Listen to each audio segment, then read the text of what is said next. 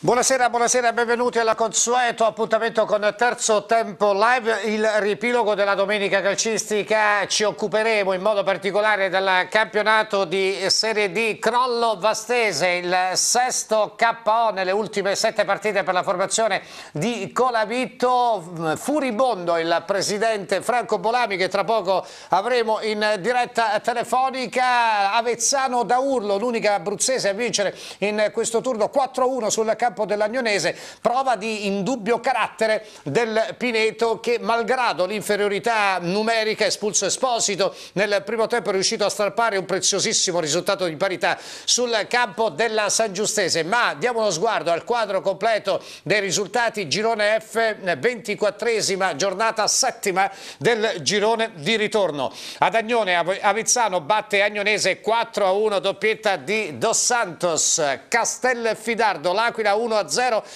Ricordiamo anche l'espulsione di Sieno dell'Aquila, dunque l'Aquila in 10 uomini per eh, praticamente tutto il secondo tempo.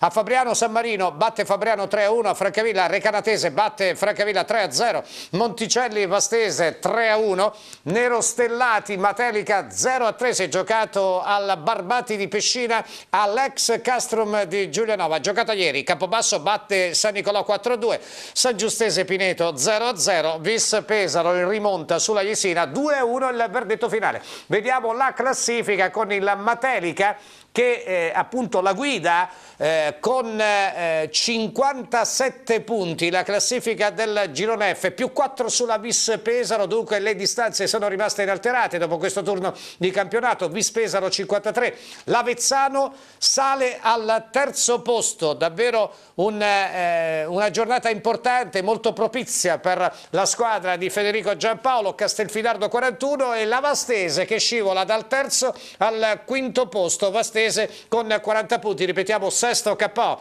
nelle ultime sette partite, dunque dall'inizio del 2018 soltanto un successo in casa sul Pineto, San Marino 38, L'Aquila e Francavilla 37, Campobasso e San Giustese 35, Pineto 34, San Nicolò e Jesina 25, Recanatese 24, Agnonese 23, Monticelli 18, Fabriano 17, chiude la matricola di Pratola Nerostellati con 8 punti all'attivo. Vediamo invece quello che è successo nel campionato di eccellenza. Prima di aprire i collegamenti avremo in diretta telefonica proprio Franco Bolami, presidente della Vastese. Campionato di eccellenza, qui siamo alla ventisesima giornata, nona del girone di ritorno. Anche qui il risultato importante della Chieti che ha battuto nel big match di questo turno il Martinsicuro. Era uno scontro diretto, terza contro seconda. Il Chieti ha scavalcato il Martinsicuro, ha deciso Catalli nel secondo tempo. Alba Adriano Adriatica, Paterno 3-2, a Miternina Montorio 4-1,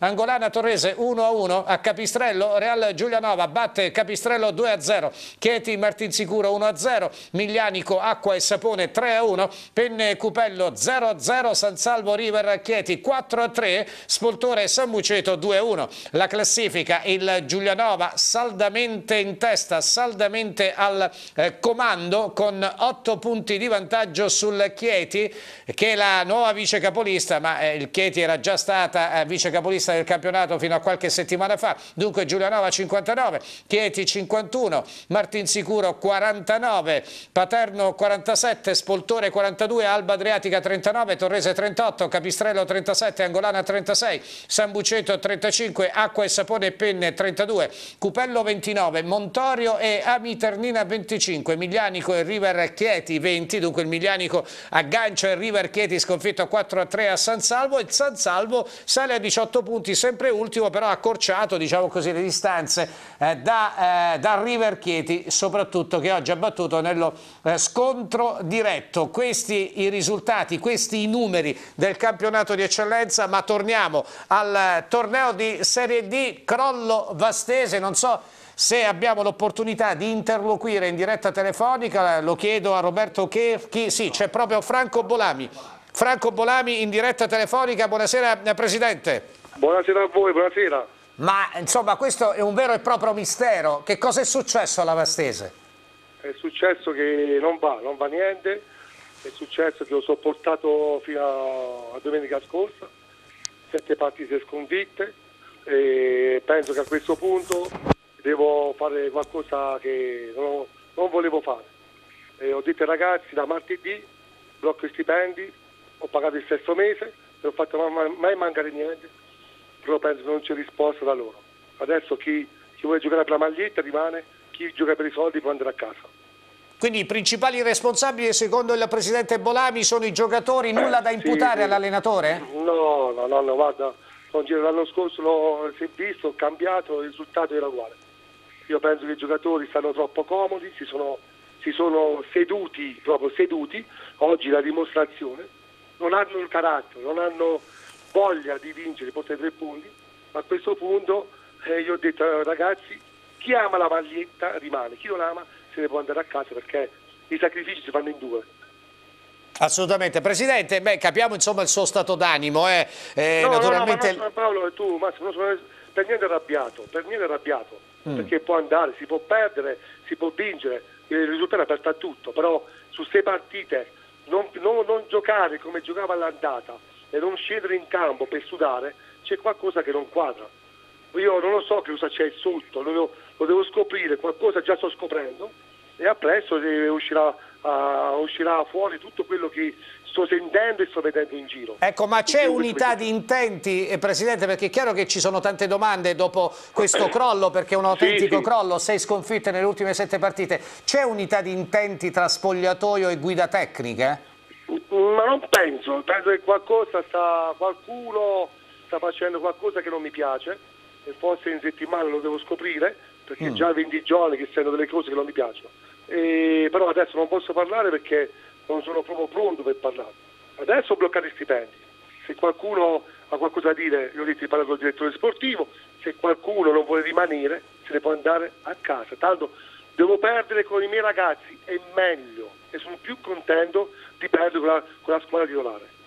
Eh, Presidente, se lei sta dicendo sto scoprendo qualche cosa che adesso non posso dire, eh, insomma dobbiamo arguire che si tratta di cose gravi. Non, è, non, sono, non so se sono gravi, sto, sto vedendo alcune cose che non mi piacciono, devo capire alcuni passaggi, datemi del tempo perché ripeto, eh, sono tre anni, sono due anni, pure l'anno scorso e quest'anno. non è colpa dell'allenatore, perché l'allenatore rimarrà allenatore della Vassese fino a fine campionato, c'è qualcosa che non, che non mi quadra, mm. devo, capire, devo, capire, alcuni passaggi, è impossibile, sette partite, sei sconfitte, come, ma come maturate? Mm. Chi mm. si può perdere si può vincere, ma io penso che quando una squadra dopo cinque sconfitte non rifà risultato positivo, c'è qualcosa che non mi quadra. Devo capire, devo capire cos'è, ma l'ho scoperto a più pezzi perché già mi sono mosso da, da due o tre partite. Ho capito. Eh, Presidente, ehm, silenzio stampa da parte dei tesserati? Sì, nessuno parla, nessuno può mm. parlare perché veramente non c'è, niente da dire. Cosa bisogna dire? Basta parlare perché qua più si parla, i fatti non si fanno. Ho capito, ma ha avuto comunque, insomma, si è confrontato oggi a fine partita con eh, il suo allenatore, con la Vitto? No, no, no, no sono andato no. a casa direttamente, vado a casa, mi rilasso, il direttore sportivo è andato dentro lo spogliatoio, ha, ha, confermato quello che ho detto io. Ah, ecco. Da martedì se qualcuno vuole andare a casa, se ne può andare. Dopo sei mesi, pagato stipendio, fai mancare niente, con anche anticipo di stipendi, penso che qualcosa non va bene. Lei che cosa si aspetta adesso dalla squadra? Eh? Obiettivamente? Ma guarda, martedì lo vedrò, non cosa... ah. martedì vedrò chi rimane e chi non rimane. Se qualcuno andrà via, tanto farò giocare i miei ragazzi, anche della Juniores, perché almeno so che danno l'anima, so che dei, sono dei ragazzi vastesi, perché veramente siamo, abbiamo toccato il fondo oggi, toccato il fondo. Certo, eh, Presidente, vabbè, però lei quando parla di blocco degli stipendi è, è chiaramente un provvedimento temporaneo. Sicuramente il tempo non lo so, può essere un giorno, un mese, tre mesi, quattro mesi, dipende da loro. Vuole vedere una reazione insomma immediata, questo sono. Sono sempre disponibile, sempre, sempre, dai, dai tre anni, non ho fatto mai mancare niente a nessuno. Adesso voglio che loro danno qualcosa a noi, non a me, alla società, perché facciamo tanti sacrifici, facciamo, tanti. Certo, i tifosi erano presenti a Grottammare oggi, Presidente? Grazie, grandi tifosi, oggi 70 persone hanno contestato, ma sempre con educazione. Grazie a questi tifosi, anzi, devo dire ai giocatori, 5-6 anni fa forse non so cosa sarebbe successo, aver perso a Monticello. Invece hanno fatto un'educazione lampante, devo dire grazie ai tifosi, ai veri tifosi. Ho capito, c'è stata eh, sicuramente una contestazione però civile, ecco questo è importante. Molto civile. Perfetto. Mi perfetto. sono fermato con i tifosi anche alla Togrilla adesso a parlare e loro sono arrabbiati, ma ho detto ragazzi sono più arrabbiati di voi.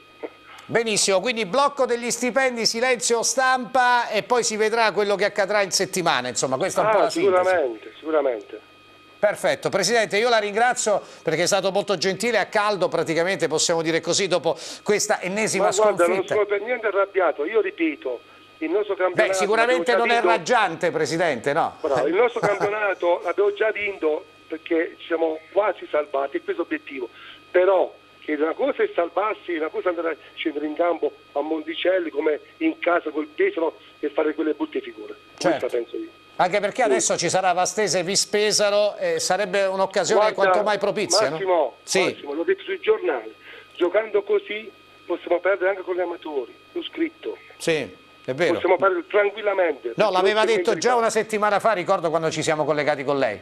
Eh, l'ho detto e lo ripeto, è una, una squadra senza organizzazione, ma non per colpa del mister, perché il mister non c'entra niente e rimarrà con noi, è colpa soltanto dei ragazzi. Beh, allora sì, però Presidente, scusi, eh, lei ha detto organizzazione, allora non, cioè, non si può parlare di Organizzazione di no, allora, l'organizzazione di ragazzi. Ah, ecco, mister non capito. c'entra niente, l'organizzazione di ragazzi non hanno voglia di ottenere, non hanno un obiettivo, non hanno carattere. Capito. Oggi l'hanno dimostrato. Mondicelli che ha giocato anche mercoledì, stanchi, oggi ha corso più di noi, volevano i tre punti, l'hanno ottenuto. Punto. Questa è la realtà. Sì, sì, no, assolutamente. Eh, Io mi sento in perfetta consonanza con lei, poi del resto chi meglio di lei no, può sapere quello che sta, eh, sta capitando, che sta accadendo a questa squadra. Tra l'altro per il Monticelli questa è una nota di natura statistica, il primo successo interno dall'inizio del campionato. Eh beh, facciamo, facciamo fate bene i fratelli. Eh, Va so. bene Presidente, io la ringrazio, eh, davvero No, grazie perché è stato chiaro, molto esaustivo. Grazie, buona serata a tutti. Grazie ancora al presidente della Vastese Franco Bolami, Beh, insomma è stato molto chiaro, inequivocabile il suo disappunto nei confronti della squadra, ripetiamo sei sconfitte nelle ultime sette partite da quando è cominciato il 2018, solo una vittoria contro il Pineto all'Aragona e quindi sei sconfitte, soprattutto questa maturata oggi a Grottammare contro la penultima in classifica che adesso ha fatto tre punti, comunque ha ottenuto tre punti importanti, eh, appunto il Monticelli eh, ha fatto parecchio eh, discutere perché insomma la squadra si era pure portata in vantaggio, la Vastese con un gol di Leonetti e poi il Monticelli ha avuto la forza di reagire, di capovolgere la situazione addirittura andando a vincere per tre reti ad una e si tratta del primo successo interno stagionale per la squadra di Stallone che finora aveva vinto soltanto in una circostanza. Dunque una sconfitta che speriamo non lasci strascichi anche se il Presidente stato molto chiaro, blocco degli stipendi e silenzio stampa. Ora la palla passa per così dire eh, alla squadra vastese che ospiterà nel prossimo turno la Vis Pesaro, vice capolista del Girone F. Eh, dobbiamo parlare invece eh, di una splendida realtà, quella dell'Avezzano, non che non lo sia la Vastese, però l'Avezzano sta facendo molto bene, settimo risultato utile consecutivo, terza vittoria del 2018, eh, quattro pareggi, eh, c'è Gianni Paris, vero? Eccomi Massimo. Ecco qui Gianni Paris, allora intanto insomma, eh, il risultato di oggi è stato fondamentale perché l'Avezzano sale al terzo posto, settimo risultato utile consecutivo, terza vittoria, Eh, ci si lamentava un po' per i troppi pareggi, però oggi davvero una prova autorevole sul campo dell'Agnonese. Eh? Beh, oggi il titolo che, che farebbe un giornalista... Avezzano eh, da urlo. No, sare- No. eh, dovrebbe essere questo, gli applausi di Agnone. Ah, ecco. Perché quando la squadra è uscita dal campo, Ah. eh, tutti i tifosi del tifo organizzato dell'Agnonese hanno applaudito in maniera scrosciante la squadra dicendo che insomma, avevano fatto una prova straordinaria e che eh, sarebbero stati contenti loro di avere una squadra così. E per lei è stata una goduria assoluta, diciamola tutta. Beh sì, ho avuto un orgasmo, onestamente, è tanta roba Massimo perché, eh, scusami, insomma che ho... eh, No, ma ci sta, una- ci sta, anche un po' hot, ma in però- senso sportivo è chi- è chiaro. dai. Sì, sì, sì, è chiaro, è chiaro. Eh, il bello del calcio è anche questo, insomma, che la vita poi ti racchiude, ti racchiude tutto e, e quindi... Beh, insomma, è chiaro che eh, vincere 4-1, a parte il risultato debordante, ma è stata una prestazione che ha convinto in toto per gli interi 90 minuti, mi pare di capire. Sì, sì, oggi va bene, primo tempo eh, si è concluso sul 3-0 per noi, eh, Dos Santos oggi non, non, ha avuto proprio tregua della difesa molisana, eh, abbiamo, giocato, abbiamo giocato in maniera concreta, cinica eh, ed è quella poi, eh, sai, all'inizio della partita ho detto alla squadra che non dovevamo pensare al successo perché il successo sarebbe arrivato. E questa è una tecnica eh, di marketing di, di, di, di chi eh, vende se stesso e quindi anche nel calcio a volte una squadra vende se stessa. E quindi la squadra è scesa in campo senza l'assillo del successo ha giocato in maniera eh, serena, sì. eh, dovevamo chiaramente fare il risultato, lo sapevamo. Diciamo eh, leggerezza eh, mentale, no? Sì, sì, sì, sì, è andata esattamente così, quindi ho chiesto questo alla squadra, ho ricordato che chiaramente c'è l'obiettivo terzo posto, questo terzo posto oggi è arrivato dopo tutte queste giornate e quindi sono stra felice. Sì, Oggi anche perché bisogna a questo punto difenderlo questo terzo posto perché insomma la Vispesaro ha 10 punti di vantaggio, quindi... La vuoi sapere la verità? Infatti io voglio sapere. un titolo per questa trasmissione. Eh, Noi adesso guardiamo al Pesaro. Addirittura. Noi adesso guardiamo praticamente alla Vispesaro, quindi mancano ancora 30 punti, quindi tutto è lecito, provarci non cambia niente perché tra l'altro in questo girone di ritorno la squadra che dà continuità arriva fino alla fine dove vuole. Questo è vero. Perché, perché ci sono troppi punti che si perdono. Quindi bisogna rivalutare questi quattro pareggi ottenuti nelle prime sette partite del girone di ritorno. Sì, nell'ottica del bicchiere mezzo pieno, mm. sì, senz'altro. Assolutamente. Eh, Presidente, Giampaolo quindi sta facendo non bene di più. Beh, Federico, io quando l'ho preso eh, posso sempre ricordare una cosa che ormai tanti sanno a memoria, eravamo terzultimi e io sapevo che sarebbe andata come sta andando adesso, quindi da terzultimi avevo la considerazione massima del mister perché avevo capito il valore dell'uomo, figuriamo oggi che siamo terzi, quindi eh, ci tengo a, a ripeterlo perché è bello dirlo oggi da presidente dell'Avezzano, siamo terzi, al terzo posto. Assolutamente, e questo è un obiettivo davvero molto importante, strameritato per l'Avezzano, 42 punti, la Vispesaro ha 11 punti di vantaggio, però nel calcio ha ragione il presidente Paris, mai dire mai, la continuità è fondamentale, la continuità di risultati e restano ancora quante giornate? Siamo alla 24esima, 13 giornate alla fine. Comunque no. sì, no, stai facendo un po' di confusione con i numeri, credo che abbiamo soltanto 9 punti ah, no, scusa, hai ragione. Di, di, distacco dalla Pesaro, da quello che mi no, dicono. Avezzano 42, Vispesaro 53. Ah, 53, allora... Eh, eh, scusa Presidente, no, no, no, eh, dai, ci sono ancora 10 giornate da giocare. Sì, sì, sì. sì ancora 10 quindi... giornate, 11 sono... punti da recuperare. Fissiamo questo, questo altro obiettivo allora, eh?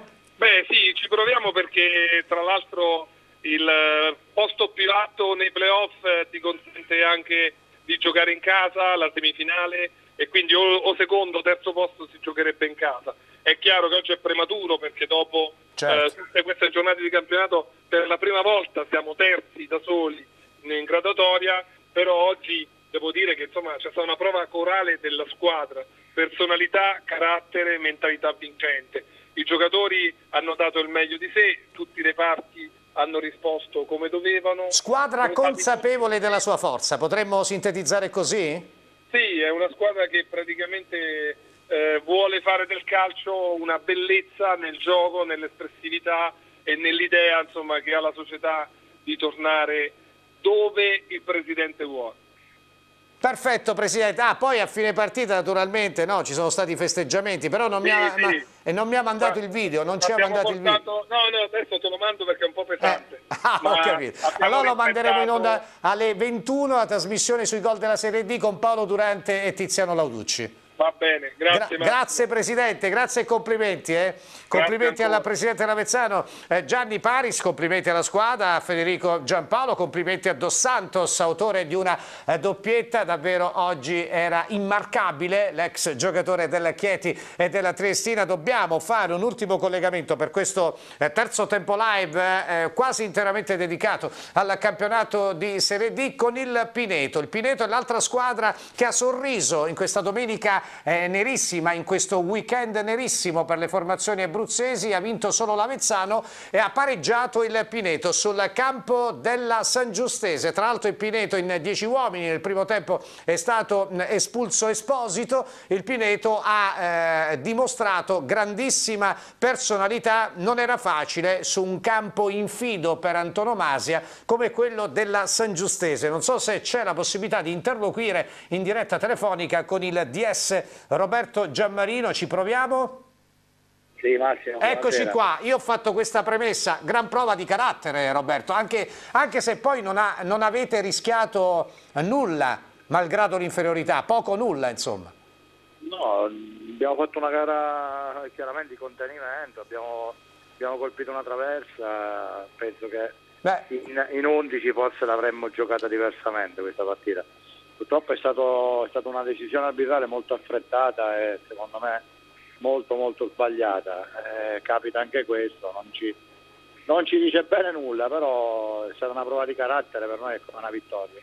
Esatto, anche perché insomma sì, dopo la vittoria sulla Jesina, la vittoria sulla Jesina era stata importante perché la squadra veniva da tre sconfitte consecutive e questa era una sorta di prova del 9, no? poi mh, eh, tra l'altro in inferiorità numerica per gran parte della contesa, insomma non si può che essere soddisfatti Roberto, no? per tanti sì. motivi. Sì, sì, assolutamente, siamo soddisfatti, la squadra è come, è come, è come era prima, cioè con tutti i palloni e, ed è quello che ci ha contraddistinto nella prima parte del campionato, questa è la, la squadra che conosciamo. Peccato perché ce la potevamo giocare alla pari con la San Giustese, era una partita secondo me che potevamo fare nostra, però poi il calcio purtroppo ci sono anche queste, queste situazioni ripeto, mi è sembrata molto molto eccessiva l'espulsione di Esposito. Assolutamente, poi noi abbiamo ascoltato anche il vicepresidente che ringraziamo ancora perché è stato sempre molto chiaro nei collegamenti, diceva proprio Gerardo Di Luca che anche a lui è sembrata piuttosto eccessiva la decisione dell'arbitro di espellere Esposito, però insomma è andata bene lo stesso, avete eh, dimostrato grande carattere su un campo non facile, adesso il Pineto affronterà il Monticelli che ha conseguito la seconda vittoria in campionato battendo la Vastese in rimonta, tra l'altro la prima davanti al pubblico amico, tra virgolette, perché si è giocato a Grottammare. Insomma, incontrate una squadra in, eh, diciamo in, non dico che è in disarmo, in perché prima salute, era in, è una buona salute. squadra, in, piena, in pieno recupero.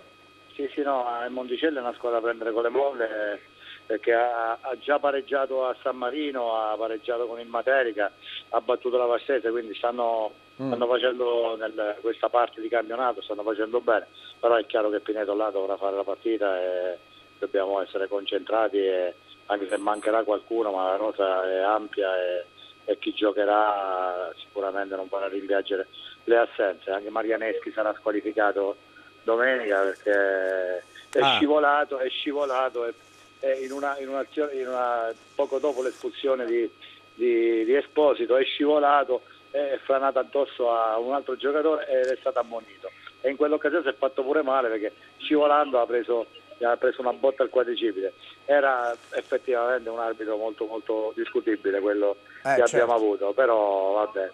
Sperando in tempi migliori e in situazioni migliori, adesso noi ci dobbiamo solo rimboccare le mani e pensare a pedalare. Poi Assolutamente. Quando, quando alla fine alzeremo la testa e vedremo quello che abbiamo combinato. Oggi ha rigiocato Zippilli, un 99 che aveva già fatto un esordio con, eh, con eh, la Vastese, un ragazzino che esce dal nostro settore giovanile. Quindi, eh, tanto per non perdere l'abitudine, dai. Sì, no, no, ma bisogna, bisogna guardare anche a queste cose. Assolutamente. Dobbiamo, dobbiamo, essere anche bravi nel, nel buttare dentro qualche ragazzo, ha rigiocato capocasa, ecco, cioè, dobbiamo dobbiamo almeno in questo momento avere tutta la disponibilità anche per questi ragazzi che devono sicuramente dimostrare il proprio valore, quindi questa è una, una cosa è importante. fase da fare. Assolutamente, eh, in compenso rientreranno domenica prossima Fiumara e Cercelluti. Io ti ringrazio Sì, Roberto. Grazie a voi e buona serata. Grazie, Grazie ancora a Roberto Giammarino, DS del Pineto, abbiamo commentato questo 0-0 sul campo della San, Gius- della San Giustese, in 10 uomini il Pineto per gran parte del match per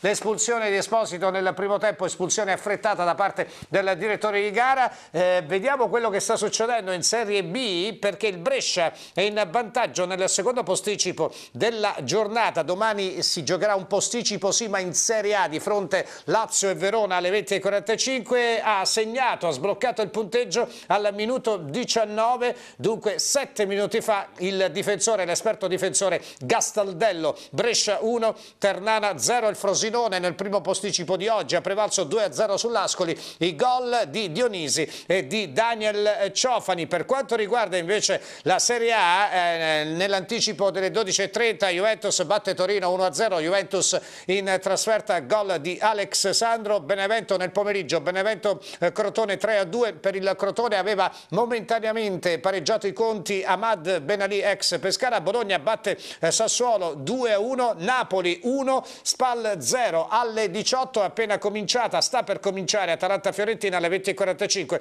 il primo posticipo di fronte Milan e Sampdoria, domani come detto di Anzi di fronte alle 20.45 Lazio e Verona a chiudere il programma della giornata nel massimo campionato. Torniamo in Serie B, facciamo un passo a ritroso nel tempo, ieri lo 0-0 scialbo eh, di Chiavari tra Entella e Pescara è comunque un punto che consente ai biancazzurri di muovere la classifica, continua però il digiuno in fatto di gol di Pettinari che non va a segno dall'8 dicembre, soprattutto la squadra ha realizzato soltanto due reti nelle ultime cinque partite. La sintesi.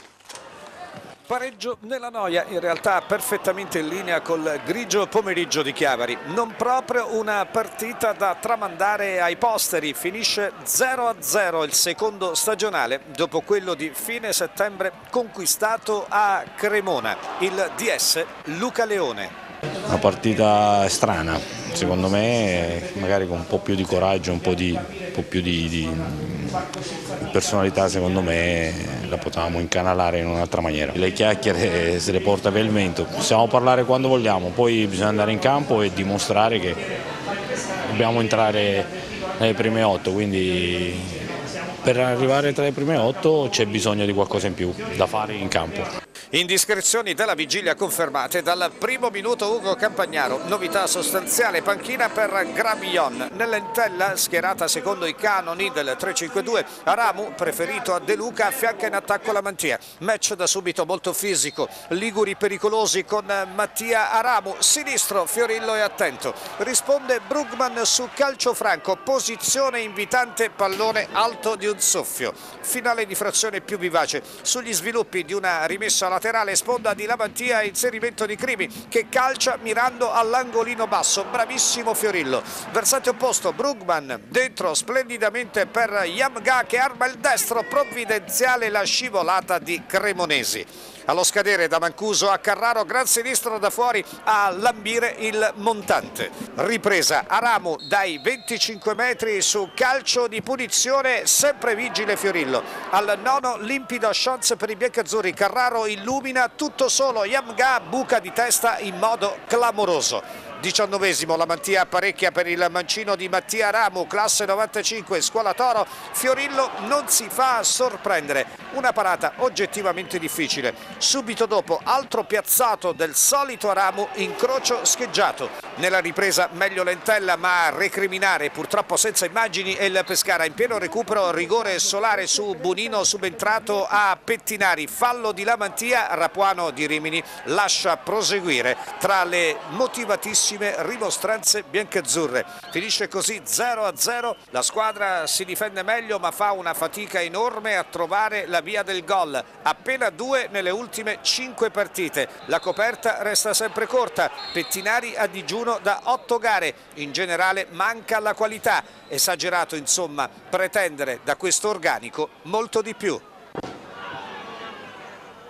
Questa è la sintesi, eh, da adesso ci saranno nelle prossime quattro partite altrettanti scontri diretti, sabato Pescara-Cremonese, sabato 24 eh, febbraio, poi ci sarà il turno infrasettimanale in Serie B, dunque martedì 27 febbraio alle 20.30 di fronte Pescara e Carpi, dunque due scontri casalinghi nel breve volgere di tre giorni, poi trasferta di Cittadella e di nuovo in casa la settimana successiva contro il Parma, dunque tre scontri diretti su quattro in casa nelle prossime quattro partite, più o meno si, si deciderà, o, o, meglio capiremo eh, di più in modo particolare più chiaramente le reali potenzialità della squadra di Zeman nel prossimo mese di campionato. Chiudiamo ricordando il posticipo nel campionato di Serie C, Girone B, quello nel quale è incluso il Teramo che ieri ha pareggiato 1-1 a Salò, un punto preziosissimo sul piano del morale anche perché ottenuto in 10 uomini espulsione davvero inspiegabile, assurda di Baras, Salò in vantaggio, un vantaggio viziato da un fallo eh, subito, evidente, subito da Ilari, il gol di guerra, 14 centri in questa stagione e poi in 10 uomini, malgrado l'1-0 per la Feralpi Salò, il Teramo è riuscito a riequilibrare le sorti del match nel finale con Fratangelo, una grande azione, eh, un, un, grande spunto sulla fascia, entrato in area, eh, palla in mezzo, c'è stata la deviazione comunque comunque sfortunata di Martin, ex difensore del Pescara stagione 2011-2012, dunque 1-1 del Teramo a Salò. Oggi nel posticipo il Gubbio è stato sconfitto in casa dal Pordenone del neotecnico Rossitto che in settimana ha sostituito l'esonerato Leonardo Colucci, Gubbio 2, Pordenone 3, Pordenone in vantaggio con Ciurria, poi Malaccari e Marchi hanno capovolto eh, momentaneamente le sorti della partita, ma nel finale al 68esimo, al 70 settantesimo altre due reti del Pordenone, la firma di Nocciolini ex Parma e di Formiconi. Le 18 e 7 minuti è tutto per terzo tempo live. Grazie a Roberto Cherchi in regia, a voi per l'attenzione. Ancora una buona domenica.